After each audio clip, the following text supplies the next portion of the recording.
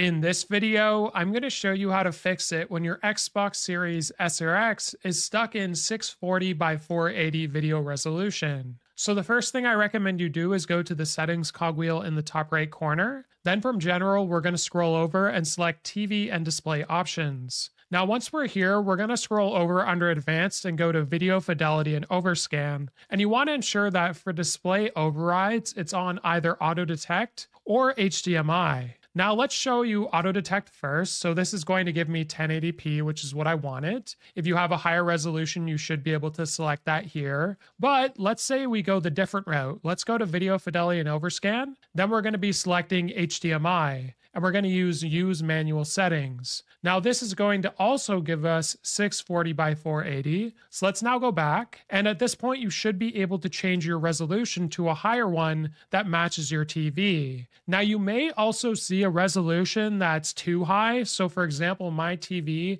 only goes up to 1080, but it offers 1440. So, don't select that. And if you do by accident, press A and it should revert back, or you can restart your console. So, I'm going to keep these settings here. And if you're still experiencing issues, I recommend you restart your console, as well as you could try factory resetting your TV and using a different HDMI cable. So, hopefully, this video was helpful. Like and subscribe, and we'll see you in the next one.